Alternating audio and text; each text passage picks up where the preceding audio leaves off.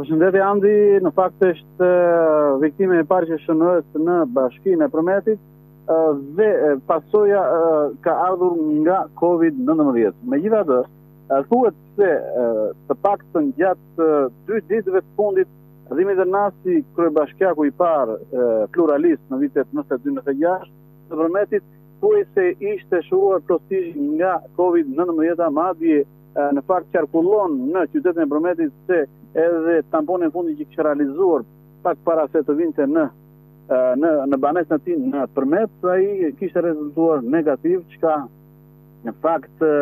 shumë veta e përjashtojnë një mundësi të tillë pra e prekjes nga COVID-19, por gjithsesi në fakt kjo është viktimë e shkaktuar nga virusi i rrezikshëm.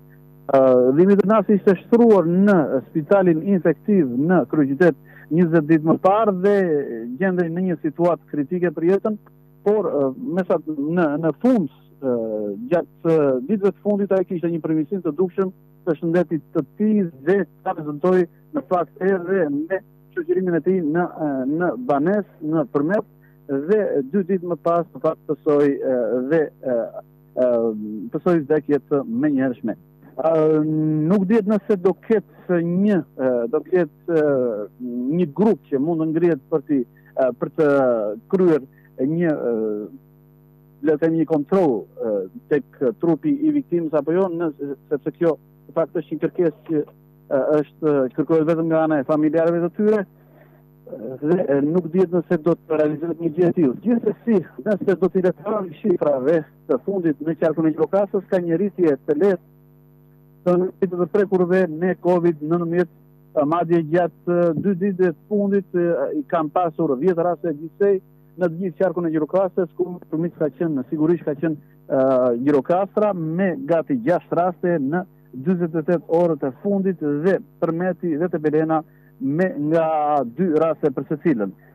Kjo është në fakt situata që mbretëron sot për sot në qarkun e Gjirokastrës për sa i përket prekshmërisë nga sëmundja e COVID-19. Pra ka një rritje të lehtë të numrit të personave të prekur me COVID-19, gjithashtu duhet të theksoj që ka dhe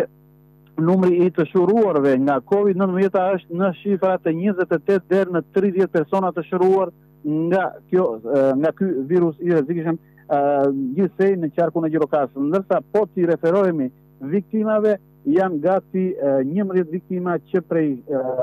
prekjes, që prej prekjes në qarkun e Gjirokastrës nga pandemia në fund të muajit maj të këtij viti. Studio. Mirë Piro, të falenderoj, të falenderoj për këtë komunikim.